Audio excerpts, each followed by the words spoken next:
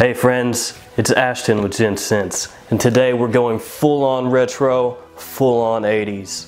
We're going to be taking a look at one of the biggest, best releases from the best decade. You know what it is. It's King Kouros from Yves Saint Laurent. Technically, this is not a vintage bottle, but that's not going to stop me. So let's go ahead and check this out and see why the 80s will always be number one. Let's check out this presentation really quickly. It's got kind of an old school vibe. They've touched up the bottle a little bit over the years, but it still retains the same basic shape.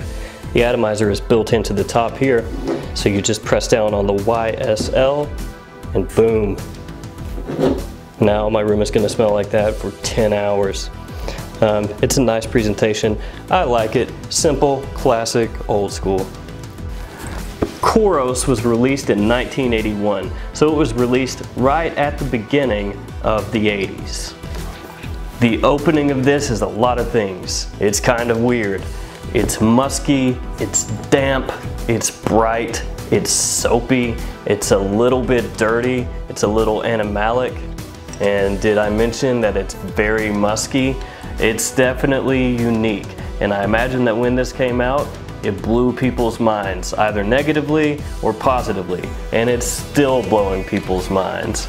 Uh, it doesn't come across as a straight up pee smell. Some people say that it's fecal or smells like urine. Uh, I don't necessarily get that actually. It's a little more, like I said, like a weird soapy musky scent. But it is masculine. It's definitely masculine and it's powerful. So don't wear this if your favorite kind of scents are like Bleu de Chanel or Sauvage and things like that, because this is basically the polar opposite of that. In the dry down is where this gets full on funky. You've got civet, moss, honey, leather. It gets like full on animalic, baby. It smells kind of like something that your body would excrete, uh, whether that's positive or negative is how you wear it. Uh, it can come across manly, sexy, manly, sexy, and manly. Some people compare this to urinal cakes that have been pissed on all day long. um, I don't know if I'd go that far.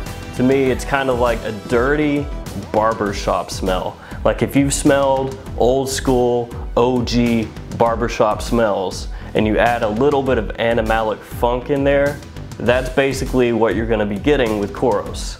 I don't think it's a negative thing, I actually like the way it smells, but you can see how that would turn some people off. The opening of this is different and that could scare some people off that might like the dry down. And then the dry down on this is different than most scents that might scare off people that like the opening. Uh, but if you do get this and give it a try, you've gotta leave it on for the entirety of the fragrance so you can figure out for yourself if this is something that you can rock. It's not something that you spray on and then rinse off and you know exactly how it's gonna smell because this does develop. And this has beast longevity. It lasts and lasts and lasts and lasts. Even though this is the reformulated version, it still performs like a beast. Uh, I had a sample of the vintage and it was ridiculous. And if I ever get a full bottle of that, I'll do a review on that one too. But the reformulation still outperforms almost everything on the market that you can get in this price range. Kouros is as iconic today as it was when it was released. This is the epitome of a love it or hate it fragrance. If you look this up online, you'll see all kinds of people talking about how fantastic it is, singing its praises, saying it's amazing, how unique it is. You'll have just as many people saying that it smells like a pissed on urinal cake that they had to scrub off as soon as they sprayed it on. So ultimately, you're going to have to smell it for yourself and make up your own mind. Personally, I really like it, but some people might think that I smell horrifically terrible when I spray this on. This one has been out for 35 years. There's a reason it's been out for 35 years because it's iconic. It's never going anywhere. If they discontinue Kouros, there'll be riots in the streets.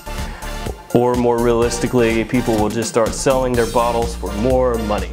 But either way, there's a reason it's been out for 35 years. You have to check it out yourself to make up your own mind, but it gets my seal of approval. So until next time, thanks for watching, like, comment, subscribe, and I will see you guys next time.